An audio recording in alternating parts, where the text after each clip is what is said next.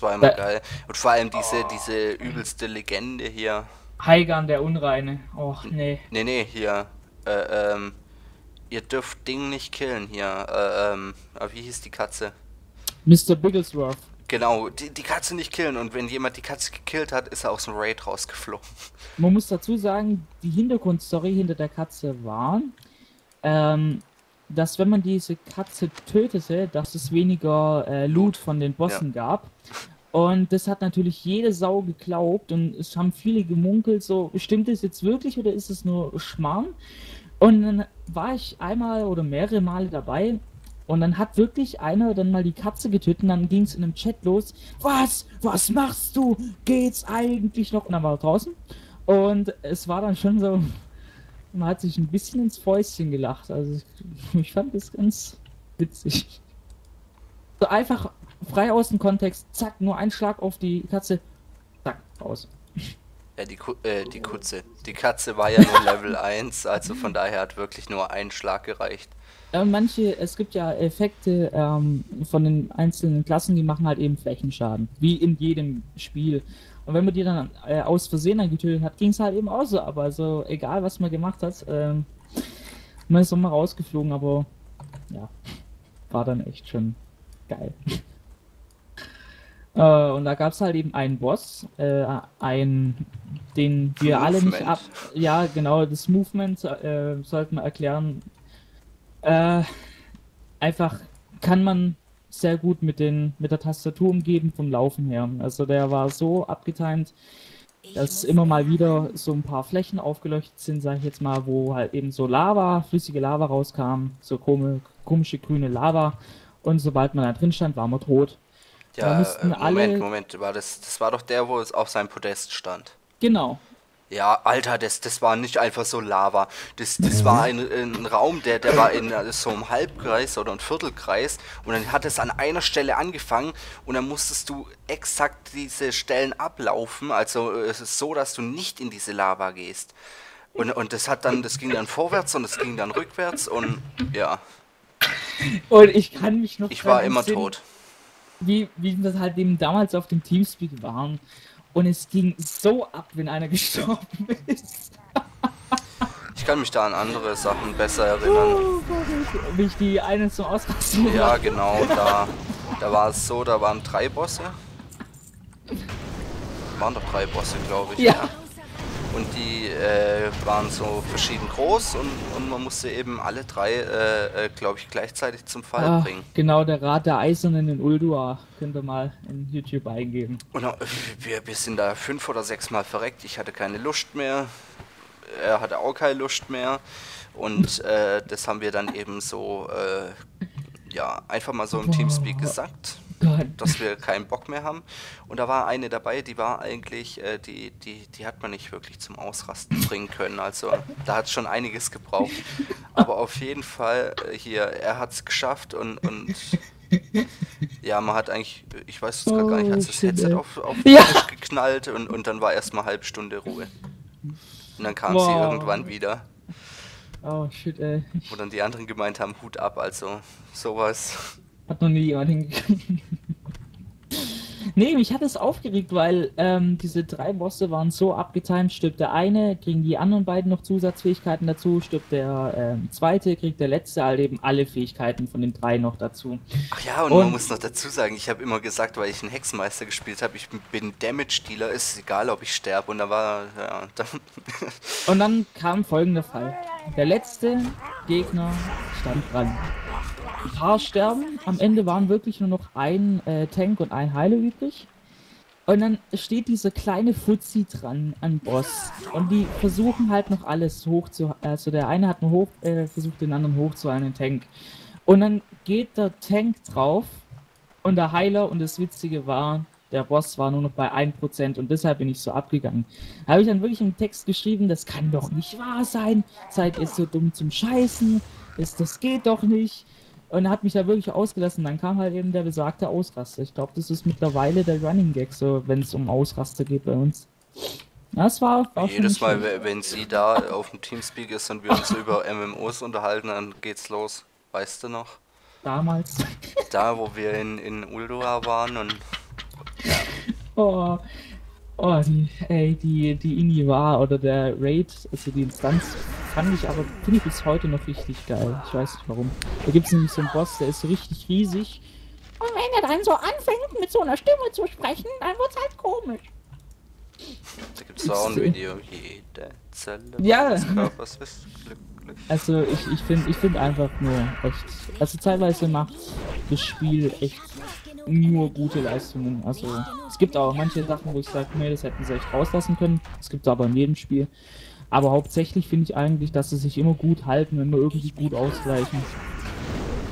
Ich fand es damals so geil, wie ich meinen PC gekauft habe und der, der Typ gemeint hat, ja, was willst du denn zocken? Und dann, ja, WoW. Und dann, ja, 40, äh, 40 Mann, Raids, alles gut, alles klar. Weißt du? Sturmwind läuft auch ruckelfrei. Da hat man dann schon gemerkt, okay, der zockt nicht nur heute. Ja, damals war es eben noch so 40 Mann Raids, jetzt sind es nur, äh, was sind 25 Ja. ist höchstens. 40 ist dann noch äh, Player versus Player, also Battleground. Alter Schlachtfeld, genau. Da sind es dann 40 gegen 40. Und äh, wenn dann damals diese 40 gegen 40 Instanzen waren, da hast du dann wirklich so pro Minute ein Bild gehabt. War wundervoll. Ja. Super, jetzt habe ich zweimal Hinterhalt drin. Sehr gut. Ups. So. Und 10.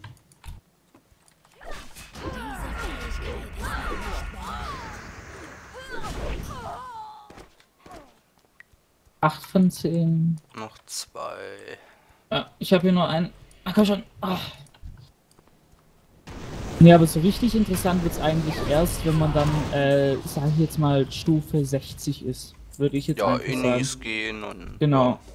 Vor allem, dann kommt man in eine ganz andere Welt, die ich damals sehr bewundert habe. Ich weiß nicht, wie es bei dir aussah. Aber die Scherbenwelt, äh, das war die zweite, ähm, die, die erste, die erste Erweiterung von World of Warcraft, Burning Crusade, ähm, Ja. das besagte. Das fand ich schon geil, weil man Oh nee, ich Idiot, oben auf dem Turm ist der Gefangene, den müssen wir noch holen.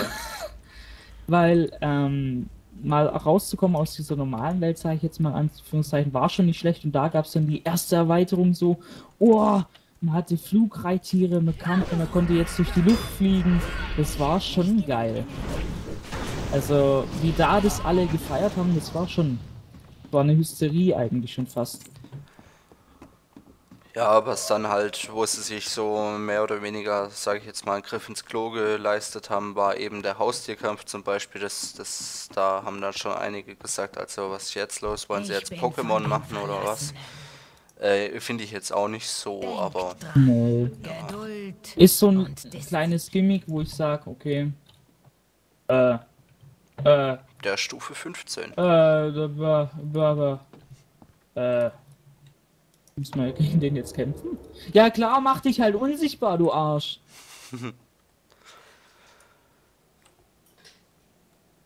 Nee, ich glaube, die reden nur so ein bisschen miteinander. Weiß ich gar nicht, ob die stirbt. Eigentlich wäre es komisch, weil dann würde es nicht mehr zu der Story passen.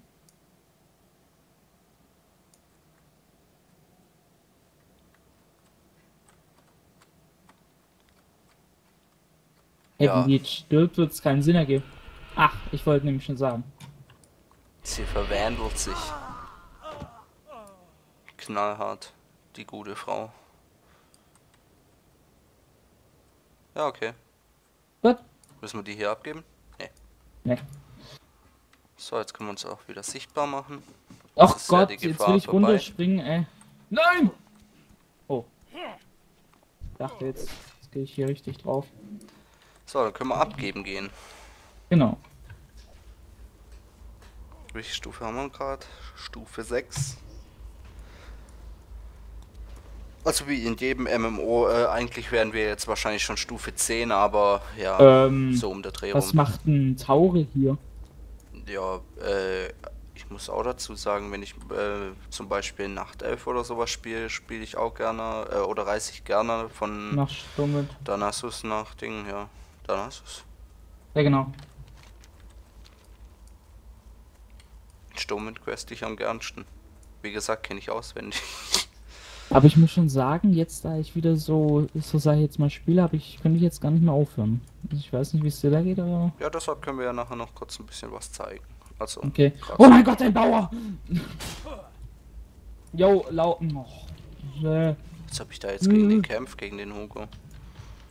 Ey, das ist ein Bauer. Ich habe da voll die Aufgaben hier, Quests abgeben. Ja, und ich nicht, oder was? Nee, du nicht. Also, was man noch sagen muss, man hat, äh, man kann in diesem Spiel hier, in diesem schönen Spiel, kann man auch Berufe erlernen. Ah, okay, ja, zum Beispiel. Schmiedekunst, äh, Kräuter sammeln, Alchemie, äh, Lederverarbeitung, Kirschner, ähm, man kann aber auch so Nebensachen erlernen, wie zum Beispiel Angeln. Kochkunst, Genau. Erste Hilfe, Geduld Schneiderer, Verzauberer, Juwelenschleifer. Diese Berufe, je nachdem, also wenn ihr weiterkommt, bringen euch auch äh, äh, Erfahrungspunkte. Also wenn Und- ihr jetzt zum Beispiel als im Bergbau ein Erz abbaut, dann kriegt ihr dafür Erfahrungspunkte. Und es verschafft euch äh, einen gewissen Vorteil. Ähm, nämlich, ihr könnt davon sehr gut profitieren, wenn ihr in den höheren, äh, wenn ihr das dann auch gut äh, weiterbildet. Weil gibt es dann Gegenstände, die ihr euch selber herstellen könnt, die euch auch äh, als Ausrüstungsgegenstände sehr gut helfen. Also, ähm, wo kann ich denn jetzt hier abgeben? Bei dem Ach, du bist- Ghoul. Oh Mann, ey, du hast noch. Nee, abgeben, ja, du hast ihn gerade eben schon angesprochen. Ich hasse dich. Weißt du, oh, jetzt muss ich warten, ey. Finde ich ja auch Hammer. Hier haben manche 352 Leben und hier die Todeswache, äh, Swallon hat erstmal 3,5. Alter, jetzt. Was? Da will jemand Ja, Duell ist gegen klar, ist klar. Weißt du, der hat nur Level-Equip an. Ich habe extra mir gedacht, nö, ich spiele mal ohne Level-Equip. Lutsch mir doch. Ey, dich. Versucht das bestimmt gleich bei mir, oder? Hau ab. Hat das gerade eben probiert? Ja, Ah, den Gordo. können wir mal am Lutschen. piep. Wir brauchen Düsterkraut? Ja, Düsterkraut. Ist Düster das da? Nee, was ist denn das da? Was Doch, das ich, ist ja. es. Ach, das ist hier im Umkreis. Ich habe gedacht, direkt im Wasser. Ja, irgendwo hier muss es ja schon rumliegen. Boah, geh mir nicht auf den Nerv, Alter. Will er die ganze Zeit ein Duell mit dir? Ja, der rennt mir hinterher. Ehrlich jetzt. Ja, jetzt, jetzt dreht er ab. War doch der, äh, Emio. Ja. Boah, findest du ein Düsterkraut, ey? Nee, Find ist ich- wahrscheinlich im Wasser und wir laufen die ganze Zeit außen rum. Hä? Wo ist denn das Düsterkraut? Ich gehe jetzt mal, ich guck jetzt mal. Ich, ja, ja, ist unter Wasser. Och nö, ne? Wo? Och, come on, ey. Ja, wie auch in jedem anderen Spiel sind hier die Vollprofis am Werk. Die verstehen. Ja, wir Äh. verstehen was vom Spiel, ha? Ja. Nimm du das, das links da. Naja. Nein! Du, du, na, ne, hau ab. Zieh ab, ey. Erst ein Duell wollen und dann. Oh, nee, hau ab. Dann ihm das Düsterkraut äh, klauen, kraulen. Ja, ehrlich mal. Oh, willst du mal mein Düsterkraut?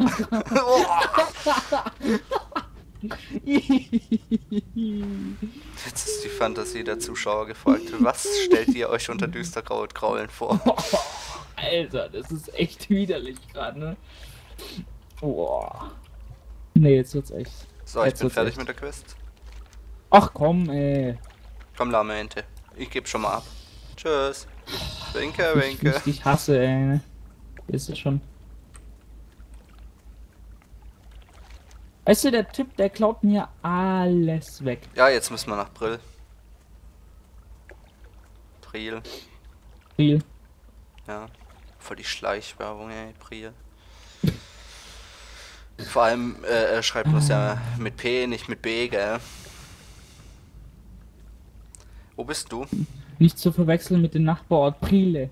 Ah, ah, ähm, du, ich suche gerade noch ein Düsterkraut, aber der Affe hat mir hier wirklich alles weggeklaut, ey. Das ist Was weggekraut. ist da? Silberblatt. Das brauche ich nicht. Das brauchst du für Kräuterkunde. Boah, Mann, ey, hier. Oh.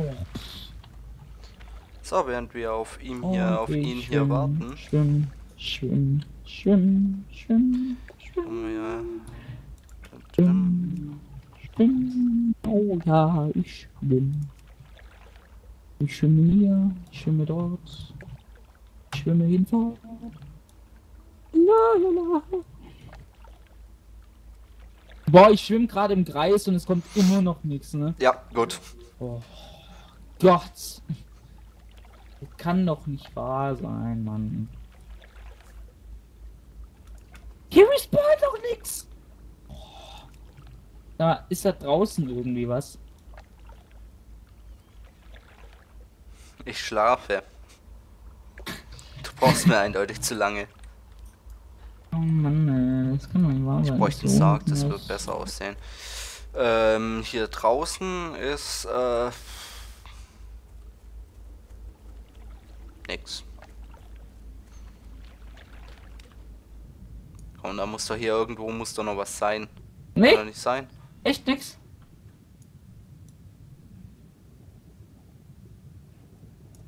Von was kriege ich einen Damage? Oh mein Gott! Boah. Ja, man sollte halt auftauchen. Hier unten hat's echt nichts. Ich brauche doch nur ein einziges Düsterkraut. Das kann doch nicht wahr sein. Ja, und ich muss jetzt auf dich warten, weil du es nicht gebacken kriegst, das letzte Ding aufzusammeln. Tori, hier hat's keins. Ja, dann such doch woanders. Ach, guck mal, da ist eins. Ansonsten muss ich halt ohne dich weitermachen. Alter, wie geil ist das denn bitte, ey? Ja, das ist nämlich das Problem, wenn ich die Quest, oder ich habe jetzt die Quest fertig gehabt, ich konnte nicht sehen, dass das jetzt noch Düsterkraut ist. So, können wir Alles. abgeben. Alles nur deine Schuld. Wann lerne ich denn eigentlich das nächste Mal was? Stufe Und 8? Stufe 7. Hä? 8? 8? Ja, in drinnen. 8? Ey, drinnen. Hm. Mein Gott, das brauchst du ja sowas von gar nicht. Und mit 10 tödliches Gift und mit 12 Kopfnuss. So. Schurke wird erst interessant so ab Stufe 40. Ich kann dir nicht sagen, wann Hexenmeister interessant wird, weil bis 60 habe ich ihn ja nicht mal gespielt.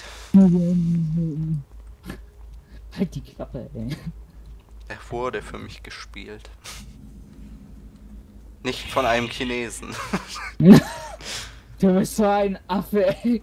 Ja, was ist, du konntest ja Level äh, bei, bei China Farmen kaufen. Konntest ja, äh, Power Leveling kaufen. Dafür lohnt es sich 13 Euro auszugeben, ey. Junger Vater, ey. Am Ende gehören So, jetzt kann man jetzt 10.000 Quests annehmen, ne? Ich glaube, mein Priester habe ich auch nicht wirklich selber gespielt, weil ähm, hier, der wurde glaube ich hochgelevelt, auch durch dieses, äh, wenn du ja zusammenspielst, dann.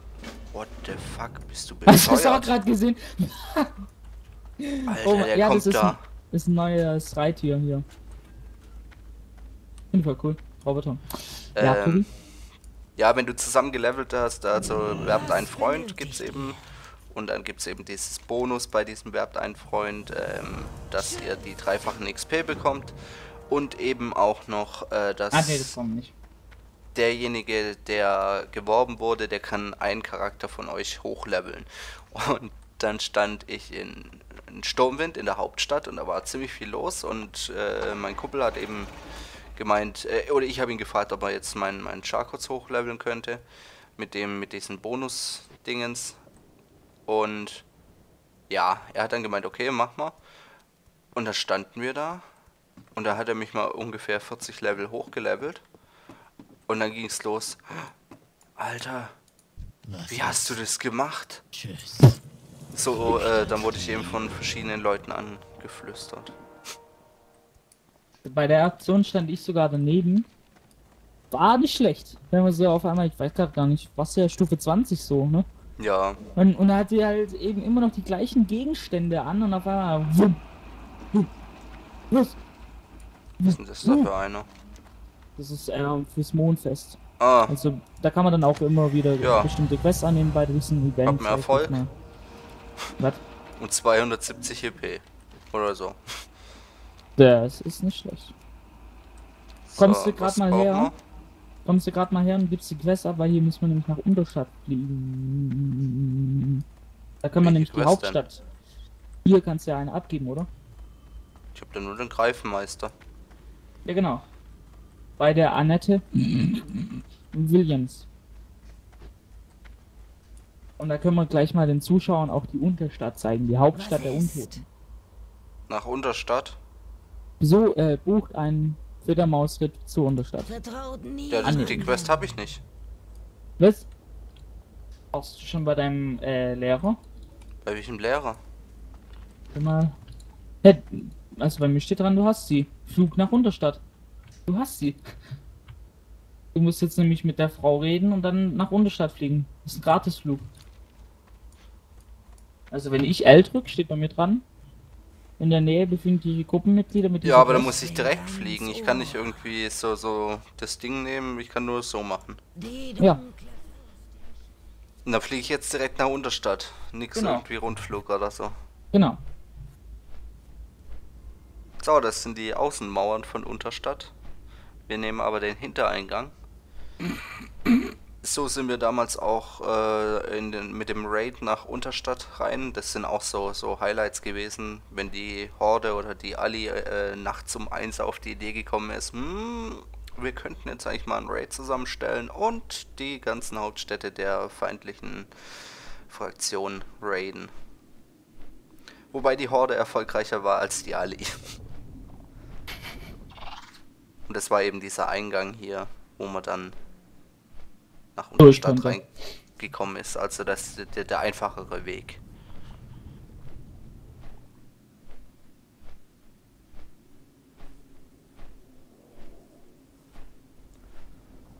Und mit diesen Worten würde ich sagen, willkommen in Unterstadt. Ja. Und diesen Schleim, den ihr da unten seht, das war jetzt zum Beispiel so ein Schleim wie bei dem Typen. Nur hat er verdammt viel Schaden gemacht. Ja, das war glaub ich sogar One-Hit, ne? Ja, ja. Ich habe genau das, was ihr braucht. Oder Two-Hit, ich weiß gar gar nicht. Ich glaube, einen Fehler konnte ich dir erlauben. So, wo müssen wir wieder? Ah, jetzt müssen wir rüber. Feuerwerk. Gordons Kiste abgeben und wir bekommen 160 Erfahrungspunkte. Bucht ein Wiedermausritt nach. Grüßt den Schatz. Jo, jetzt fliegt mal wieder zurück. Was verlangt ihr vom Tod? Shazam. Ja, Andere Frage, sollen wir jetzt noch weiter leveln oder sollen wir noch ein bisschen die Gegend zeigen? äh. Meine Gegenfrage, warum bist du überhaupt schon Stufe 7? Äh, keine Ahnung. Ich habe diese Uran-Quest abgegeben. Ah, okay, klar. Ähm, ich weiß nicht, das Leveln ist ja eigentlich vom Prinzip her klar. Ich würde an der Stelle nämlich dann umlenken zu den Gegenden zeigen. Weiß Ja, nicht, wie du das okay. denn möchtest. Gut, Weil, dann machen wir das Würde ich jetzt. sagen, dann sehen wir uns gleich wieder, oder? Yep. Also dann, bis gleich. Tschüss.